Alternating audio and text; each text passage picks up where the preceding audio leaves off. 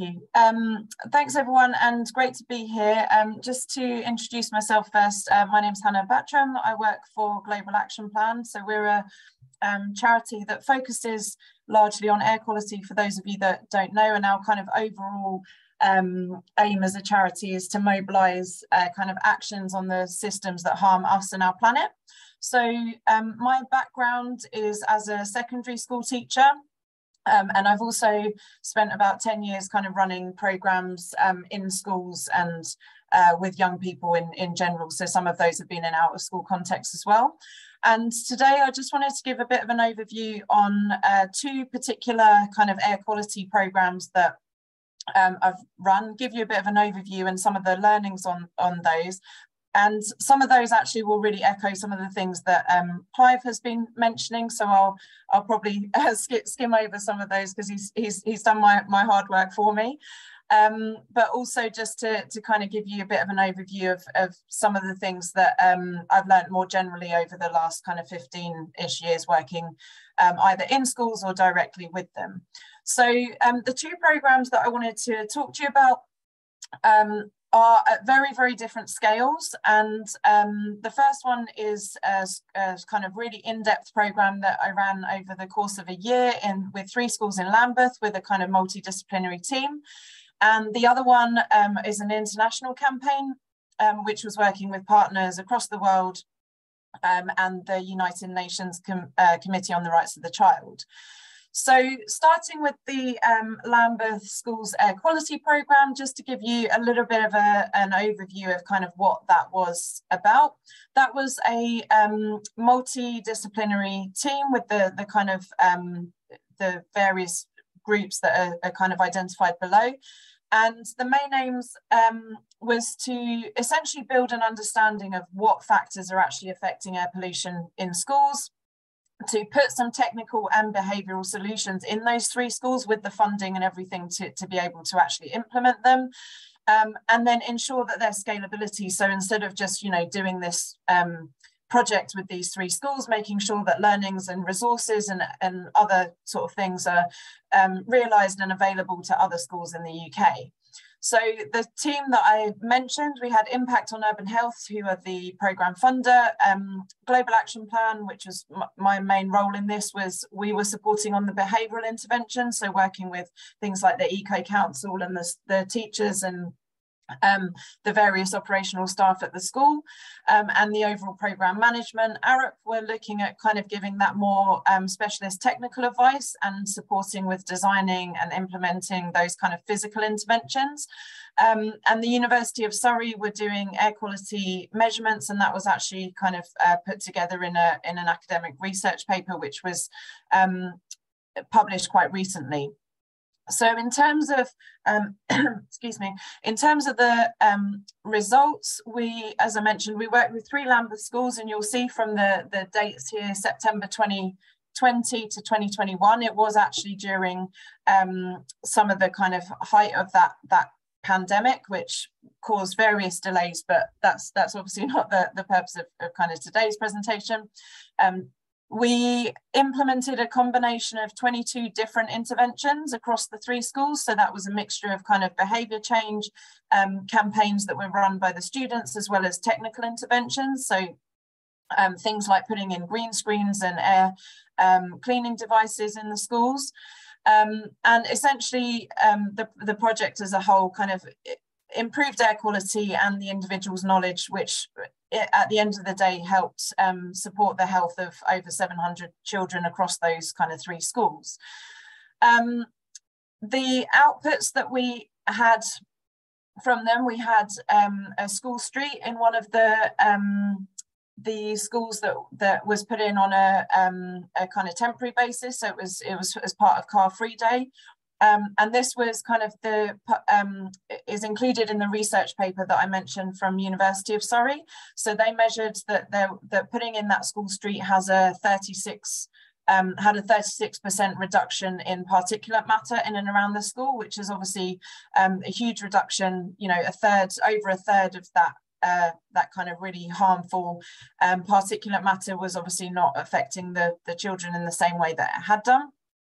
Um, repairing windows at one of the schools improved the ventilation rates by up to 40% so that we were finding that there was a real buildup of carbon dioxide in the um, rooms. So just being able to kind of have operational windows really improved that, that ventilation. Um, there are, of course, kind of points around, you know, opening windows onto busy roads and stuff, which are, have, have, been mentioned briefly already, um, that have to be borne in mind. But obviously, um, if you know, if you've got schools where the windows can be opened at certain times of the day, um, that that's a huge reduction and really helps with kind of concentration and various other uh, benefits. We put some air cleaning devices in one school where there um, that was adjacent to a very very busy road, so there wasn't other kind of solutions available, um, and that reduced particulate matter down by 57% with that particular kind of setup. Um, and there was also a green screen which was installed at uh, the boundary of, of, another school that we worked with, which reduced um, particulate matter getting in from a, the sort of busy road um, into the school playground by up to 44%. So some really um, kind of concrete findings there. Um, and I mentioned that we wanted to make sure that the, those outputs were kind of scalable. So we created um, through the sort of work that we did, we did a lot of work with the students as well to do things like active travel campaigns and they created low pollution maps and various other sorts of um, curriculum linked um, education sort of initiatives. And um, we created those and made those freely accessible online through our uh, Transform Our World um, kind of uh, teacher portal. We also, um, I mentioned there was a peer academic uh, research published, published by the University of Surrey. So um, that was available, that's available kind of for all to read the, the detail and we've summarised those in those case study sort of snippets that I just uh, shared with you. Um, we also updated, we have a, a, tool, an online tool which has been kind of um, put together with the University of Manchester and, and head teachers and various other kind of stakeholders. And we updated that to make sure that all of the learnings were included within that. And Arup also um, created a, an air quality um, toolkit for schools to use to show sort of some of the different pros and cons of different um, interventions. Um, again, all of this is, is freely accessible on um, the Transform Our World website, and we also created the case studies that I mentioned. So quite a, a kind of in-depth project over the course of the year, really supporting the schools on those kind of bespoke actions. Um, and like I said, that that's scale of that project was quite in, in, um, in depth and it was working with you know multiple stakeholders um, including you know the local council um, that we had to liaise with of course to, to try and get things like uh, school streets and school uh, road closures and stuff agreed. So in terms of kind of key lessons learned some of these um, may seem obvious but i think then they're important to draw out because they're not always considered as part of that sort of process um, the first one is just making sure that all the stakeholders are, are really sort of consulted and, and um, involved as part of that decision making process because you know if there are things that you want to implement but it needs you know council approval or it needs to be delivered within a specific time frame actually that can be really really um, challenging um, if those stakeholders are, are not uh, involved or even within the project team making sure that you know the project team actually sort of understand each other's um, priorities and timescales and you know all of those other other kind of important um, points. Um, making sure that there's time and I would suggest for a project like this kind of quite a lot of time. So between six to 12 months to sort of scope out you know the project setup make sure that make it to make sure that those maximum benefits can be realized um, and make the best use of the resources. So um, what I mean by that is if you need to get things like um, let's say if it was a school street for example but the council um, aren't able to do that in that particular time frame actually just understanding what those barriers are and and and how when they might fit in best can can actually mean that you really realize the benefits um, much in a much greater way um, if you've got kind of funding and and so on available to to do some of these um, to put some of these interventions in place.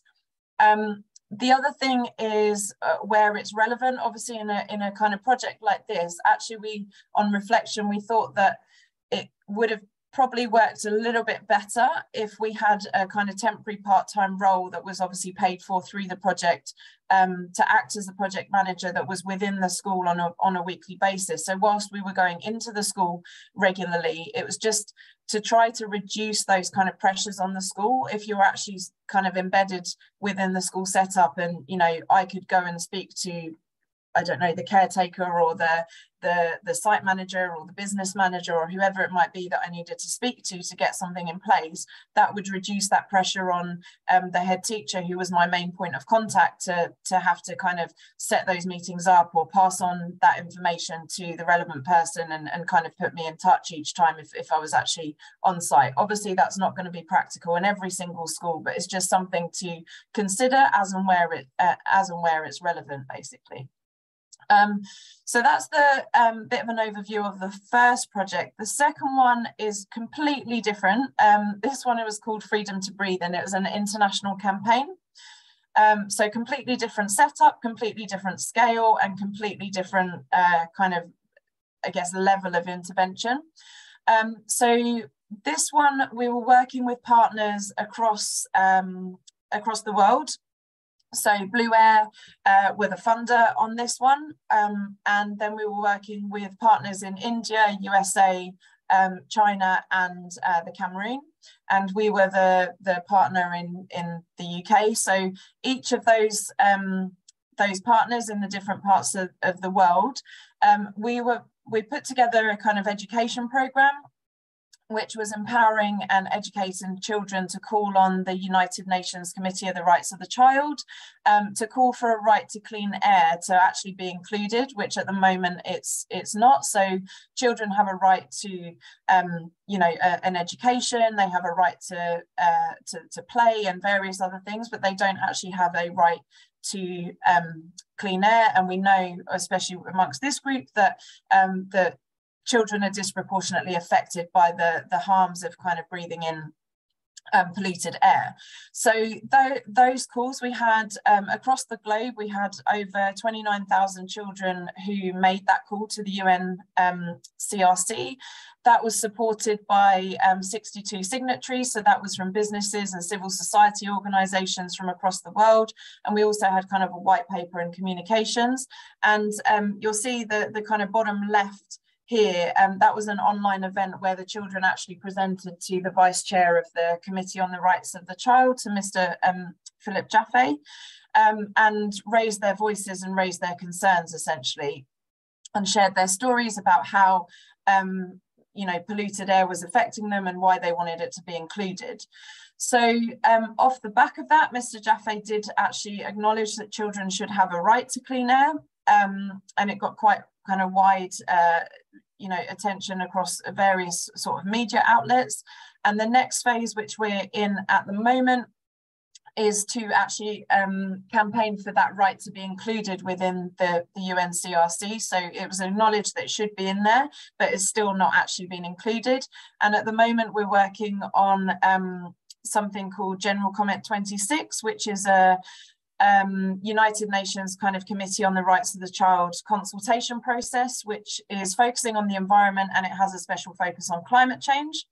Um, the UNCRC are inviting uh, children from around the world and um, civil society organisations to feed into that. So I, I really actively encourage, you know, um, as organisations, as academics, as um, you know, people working with schools or who have links to schools to to kind of promote um, this and and make sure that children's rights are elevated and heard. Because in a in a nutshell, what this will do is um, create that kind of a, a, new right, which will then be able to hold governments and, and officials to account and actually might uh, then put people across the world in a position to to say you know children should have a right to clean air and obviously lots of other environmental uh, issues that are very salient as, as well.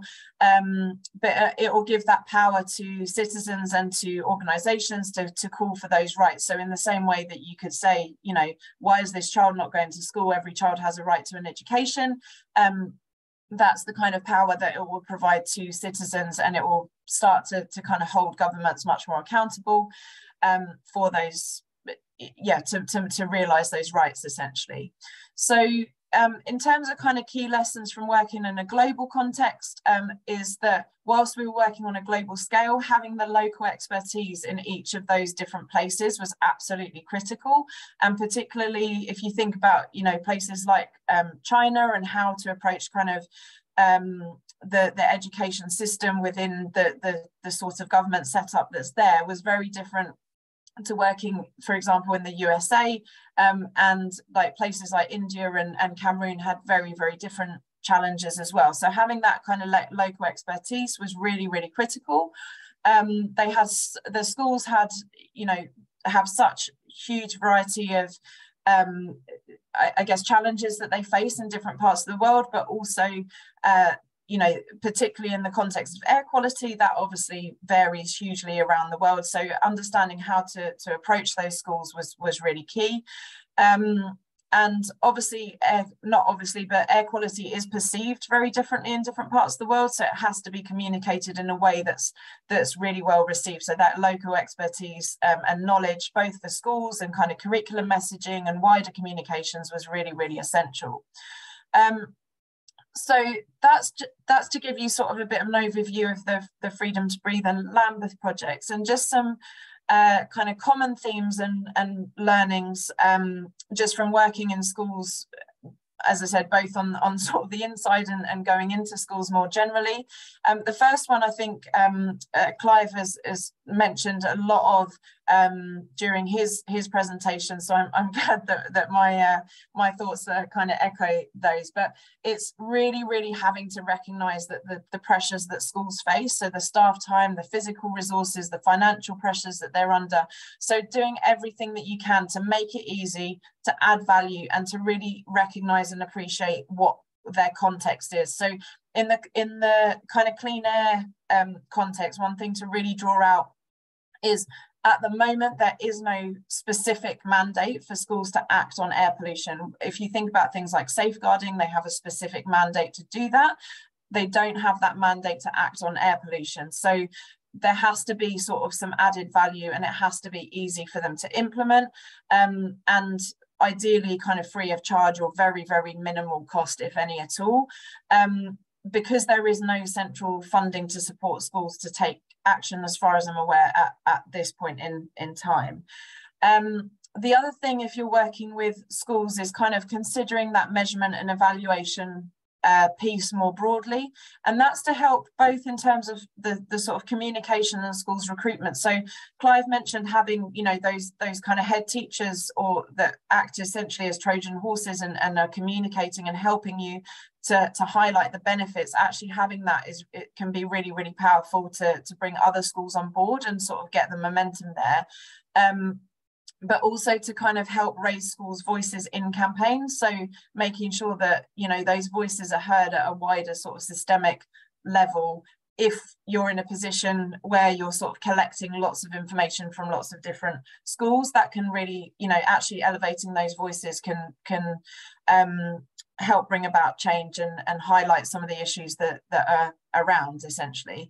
And communication is key. So being kind of consistent, persistent and patient because of those pressures. And, you know, Clive kind of mentioned, you know, just little and often. And I think that's, that's, that's really, um, that's really right. And being really clear on the offer and the, the benefits, you know, what's the research behind it why why does the school need to do this particularly given the the kind of limited time and so on that they have and really leveraging your networks and and multiple stakeholders. So you know if you're not able to the, the head teacher or, or the science lead or whoever it might be in that school might receive hundreds of emails you know each week or each day sometimes. But if you've got a contact who works in the local council or or through the um, you know the unions or through a, a, governor who works there and kind of taking that pressure off those individual teachers can can be a really great um, way to try to to work with that school and and sort of have your point heard.